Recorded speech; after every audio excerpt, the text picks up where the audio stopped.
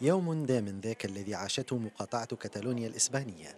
يوم انتهى بتمكن عناصر الأمن من القضاء على خمسة أشخاص كانوا على متن سيارة دهست عددا من المرة في منطقة كامبرليس التي تبعد 120 كيلومترا عن مدينة برشلونة.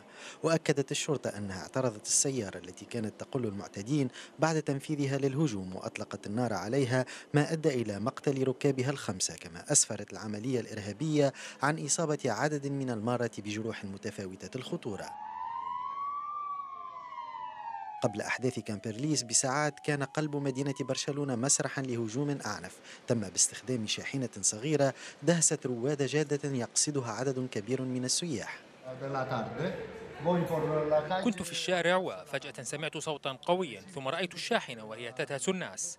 المرة لم يستوعبوا الأمر حتى الشرطة لم تكن تعلم أنه هجوم ثم بدأ الناس بالهروب والركض. السلطات المحلية في إقليم كتالونيا أكدت أن الهجوم إرهابي وأنه أدى إلى مقتل 13 شخصا على الأقل وإصابة العشرات بجروح.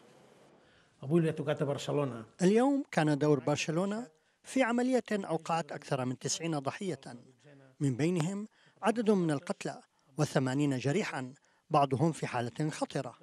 ونحن نتحدث عن عملية كبيرة ونحن ندينها بقوة. من جهته أكد رئيس الوزراء الإسباني مارينو راخوي تضامن البلاد بأسرها مع مدينة برشلونة وأن جميع أجهزة الدولة ستعمل من أجل تقديم المسؤولين عن الهجوم إلى العدالة. أود أن أعرب عن تضامن إسبانيا كلها مع برشلونة التي ضربها الإرهاب الجهادي كمدن أخرى حول العالم قبل ذلك.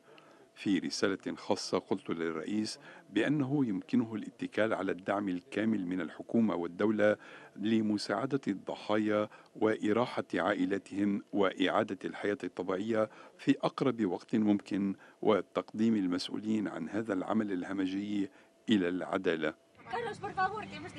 من جانبها أعلنت شرطة إقليم كتالونيا أنها تمكنت من إلقاء القبض على شخصين أحدهما مغربي والثاني إسباني. قالت أنهما على علاقة بالهجوم وأنهما مسؤولان كذلك عن انفجار وقع الليلة الماضية داخل منزل في منطقة الكنار أدى إلى مقتل شخص واحد. لقد ألقينا القبض على شخصين على علاقة بالهجوم أو الإعداد له. كما أنهما على علاقة بالانفجار الذي وقع ليلة أمس في منطقة الكنار والذي أدى إلى مقتل شخص وإصابة آخرين.